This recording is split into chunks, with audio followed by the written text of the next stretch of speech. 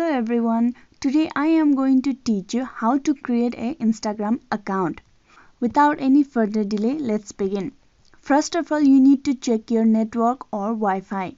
You need to be connected. After that, go to Google Play Store and download Instagram.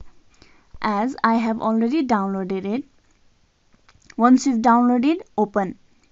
After opening the Instagram, here you can see two options login login with facebook. But we are going to create a new account so you can see on the very bottom don't have an account sign up. So we are going to click on sign up. As you can see there are two options login with facebook sign up with email or phone number if it is convenient for you to share your Facebook information, you can log in with Facebook and your Instagram will be opened very easily. But today we are going to choose sign up with email or phone number. Once you click on that, here you're gonna have two options. You can open an Instagram account through your phone number or either through your email.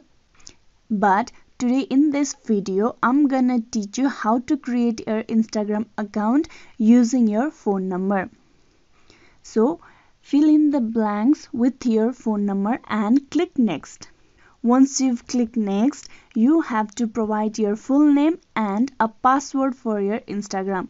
This is a demo for you to understand how to create an Instagram account. I'm gonna keep it simple. And password.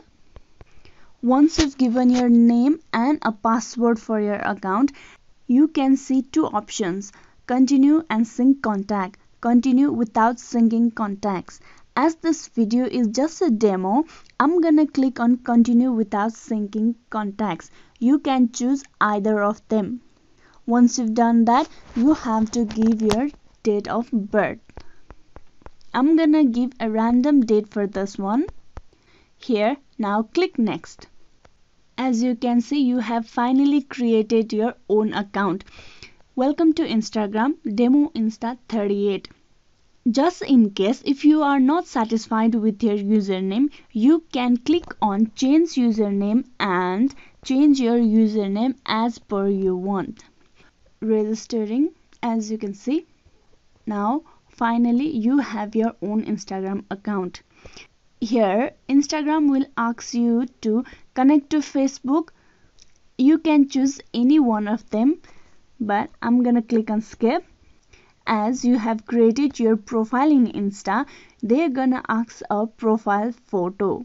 But i'm gonna skip it. You can use a appropriate picture for this one.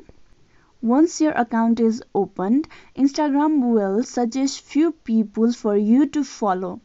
But this one. Again I'm gonna skip it. Finally you can see it. I have a new account in Instagram. This is a very simple method of opening an Instagram in mobile application. Hope this video was useful to you. Thank you